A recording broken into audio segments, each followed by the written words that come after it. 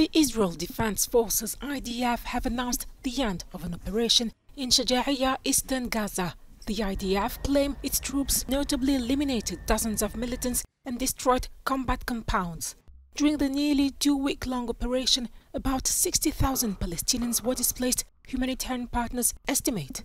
The IDF encouraged all residents to leave Gaza City and head south on Wednesday the UN spokesperson urged the troops to respect international humanitarian law. The Office for the Coordination of Humanitarian Affairs warns that Israel's instruction for people to leave Gaza City as a result of today's directives will only fuel mass suffering for Palestinian families, many of whom have been displaced many times.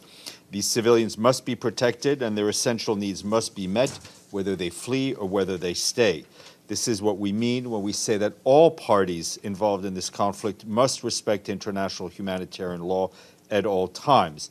And the level of fighting and destruction that we are seeing uh, in the recent days. Israel's nine months old offensive in Gaza has killed over 38,000 Palestinians. Deadly strikes in recent days come as ceasefire talks are underway in Qatar.